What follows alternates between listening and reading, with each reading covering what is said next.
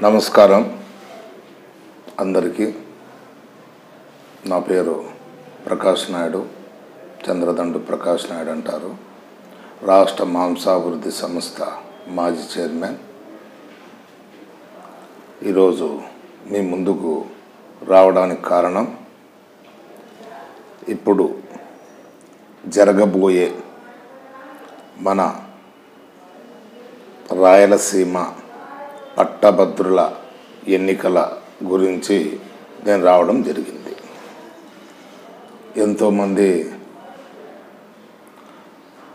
గతంలో పట్టభద్రులుగా ఎన్నికయ్యి శాసన మండలికే వన్నె తెచ్చినటువంటి ఎంతోమంది నాయకులు ఉన్నారు కానీ ఈరోజు నేను పార్టీలకు అతీతంగా మాట్లాడుతుండా.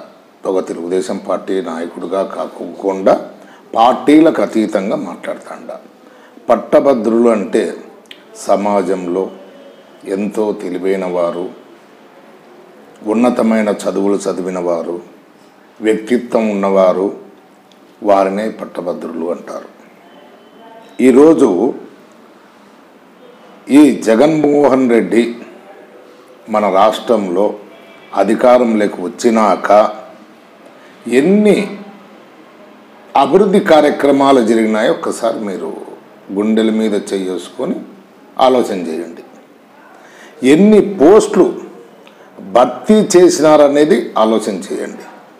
డిఎస్సీలు ఎన్ని డిఎస్సీలు ప్రకటించినారనేది కూడా ఆలోచన చేయండి. ఎన్ని పోలీస్ పోస్టులు భర్తీ చేసినారనేది కూడా ఆలోచన చేయండి.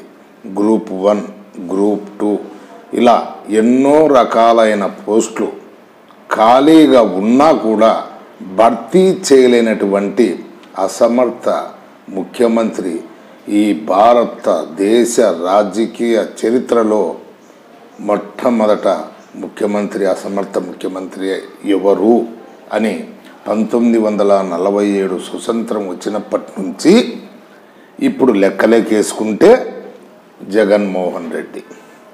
అత్యంత ధనవంతుడు ఎవరు అని మనం లెక్కలేకేసుకుంటే అత్యంత శ్రీమంతమైనటువంటి ధనవంతుడు ముఖ్యమంత్రి ఎవరంటే జగన్మోహన్ రెడ్డి. అత్యంత క్రిమినల్ కేసులు రికార్డున్న ముఖ్యమంత్రి ఎవరు అంటే జగన్మోహన్ రెడ్డి.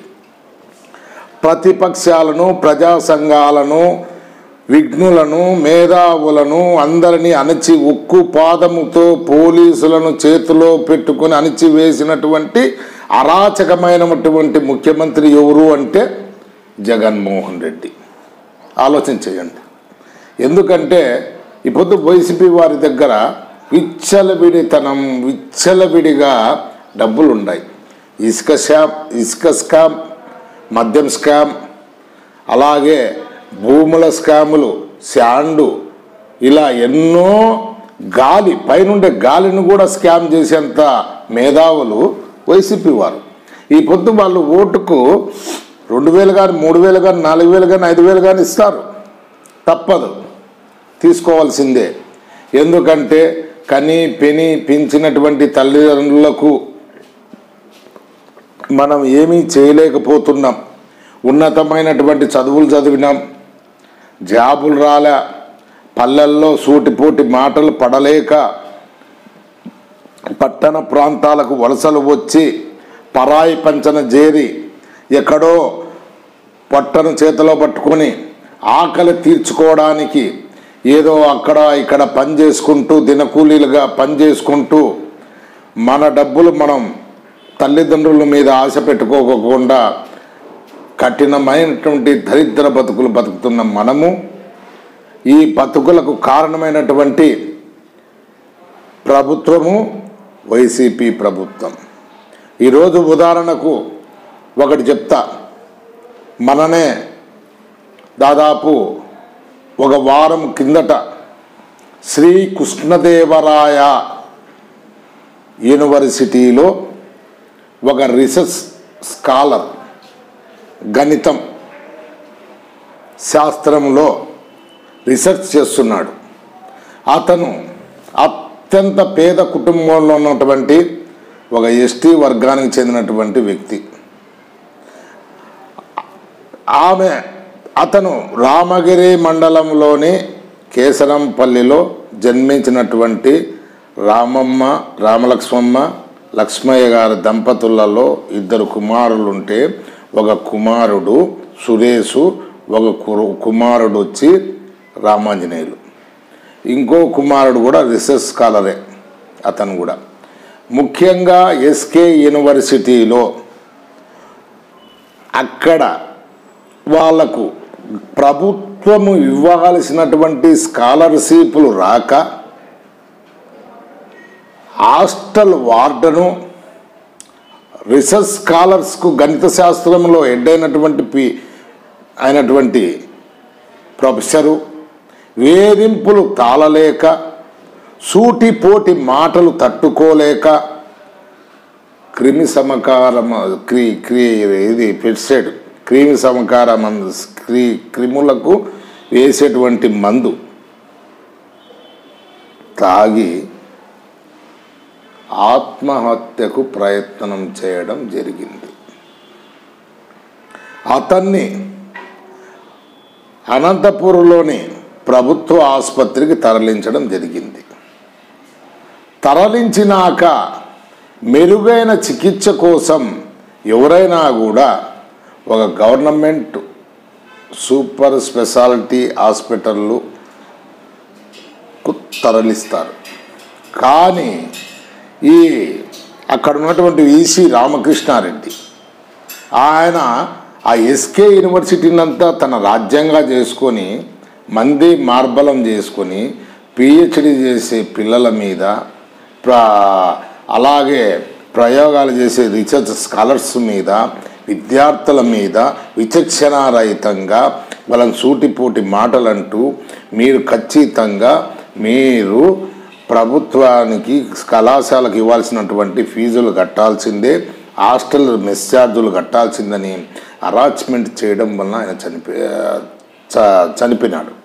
కానీ మెరుగైన వైద్యం కోసానికి ఎక్కడ పంపిస్తారు? మెరుగైన వైద్యం కావాలంటే బెంగళూరు ప్రభుత్వం తరపున. లేకపోతే హైదరాబాద్. నువ్వేం చేసినావు రామకృష్ణారెడ్డి గారు?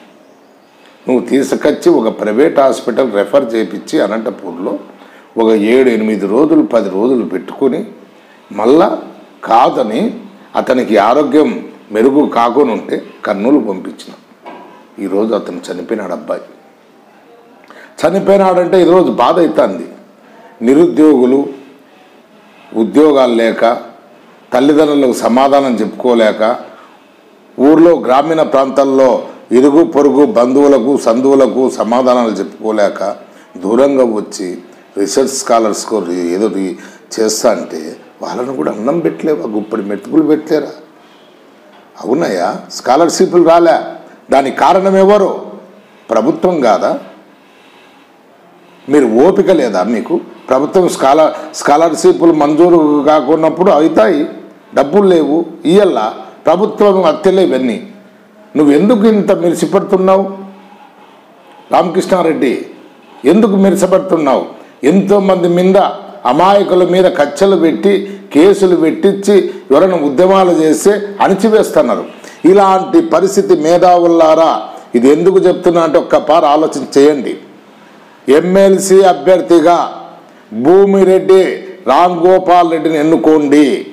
ఒక్క పారి మీరు మైమరిచి ఏదో డబ్బుకో ఇంకో దానికో లొంగిపోతే జీవితం అంతా మన లొంగిపోవడానికి మనం బానిస బతుకు బతకాల్సిన పరిస్థితి వస్తుంది. ఈరోజు డబ్బున్న వాళ్ళే రాజ్యాలు వెళ్తున్నారు ఈ కార్పు రాజకీయాల్లో కార్పొరేట్ వ్యవస్థ పోవాలంటే డబ్బు కాదు ముఖ్యం వ్యక్తిత్వమే ముఖ్యం.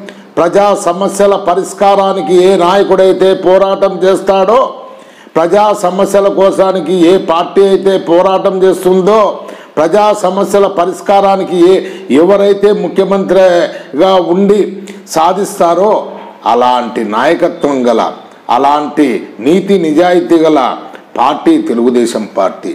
మన సమస్యలు పరిష్కరించగల సత్తా దమ్ము ఉన్న నాయకుడు చంద్రబాబు నాయుడు గారు. కాబట్టి నిరుద్యోగ గతంలో నిరుద్యోగ వృత్తి ఇచ్చినాడు.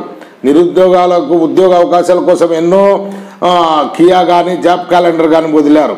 ఇప్పుడే ఇప్పుడే తెలుగుదేశం పార్టీ కూడా మా లోకేష్ శివనాయకుడు కూడా ప్రతి సంవత్సరం జాబ్ క్యాలెండర్ వదిలి మా నిరుద్యోగ యువకులలో వాళ్ళకు ఉద్యోగ అవకాశాలు కల్పించి ఇంకనూ మెరుగే కా ఉద్యోగాలు రానటువంటి నిరుద్యోగులకు ఉపాధి పరంగా కానీ ఇంకో పరంగా కానీ గుప్పెడి మెతుకులు పెట్టి వాళ్ళ జీవన ప్రమాణాలు పెంచి వాళ్ళ కుటుంబాల ఆనందం నింపడానికి పనిచేసే పార్టీ తెలుగుదేశం పార్టీ అని నిన్న మొన్న తే- లోకేష్ బాబు గారు పాదయాత్రలో హామీ ఇచ్చినాడు.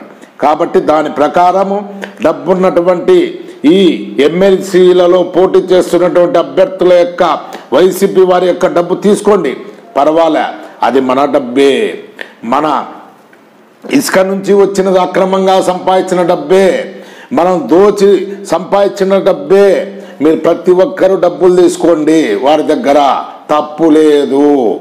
మన వల్ల శ్రమను దోచుకున్న పార్టీ మన వలన ఇబ్బందులు పడిస్తున్న పార్టీ మన కష్టాలకు కారణమైనటువంటి పార్టీ వైసీపీ పార్టీ. మన జీవితాలు బాగుపడాలంటే మనమందరం సంతోషంగా ఉండాలంటే ఖచ్చితంగా భూమిరెడ్డి గారి రాజగోపాల్ రెడ్డికి రామ్ గోపాల్ రెడ్డికి మీ పవిత్రమైన ఓటు వేసి వేయించి గెలిపించవలసిందిగా ప్రార్థిస్తూ వాళ్ళతో డబ్బులు తీసుకోండి.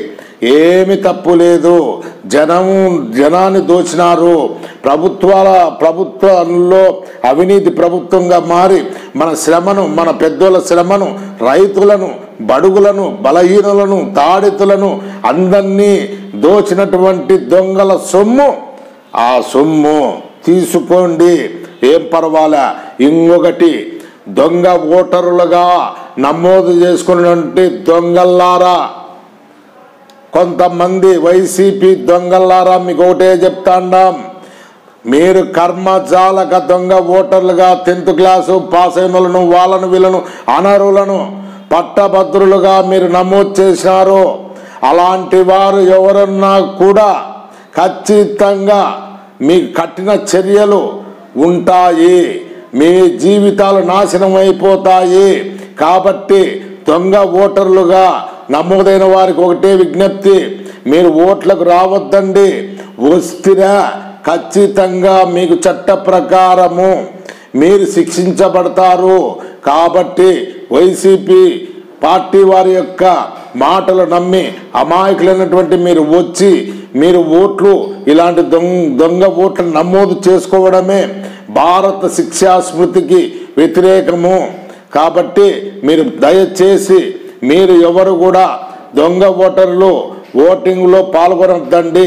ఇది గమనిక ఒకటి గుర్తుపెట్టుకోండి. కాబట్టి మీ పవిత్రమైన ఓటును మన రామ్ గోపాల్ రెడ్డికి వేసి వేయించి గెలిపించల్లా ప్రతి ఒక్కరూ మీ ఓటు హక్కును వినియోగించుకోండి. మీ ప్రశ్నించే తత్వాన్ని ప్రశ్నించాలంటే ఓటు ద్వారా ప్రశ్నిద్దాం. ఈ జగన్మోహన్ రెడ్డి అహంకారాన్ని తగ్గించాలంటే మన ఓటే ఆయుధం. జగన్మోహన్ రెడ్డి యొక్క అవినీతిని తగ్గించాలంటే మన ఓటే ఆయుధం. జగన్మోహన్ మోహన్ రెడ్డిని పదవి ఛాత్రిని చేయాలంటే మన ఓటే ఆయుధం. జై తెలుగుదేశం జై చంద్రబాబు నాయుడు గారు.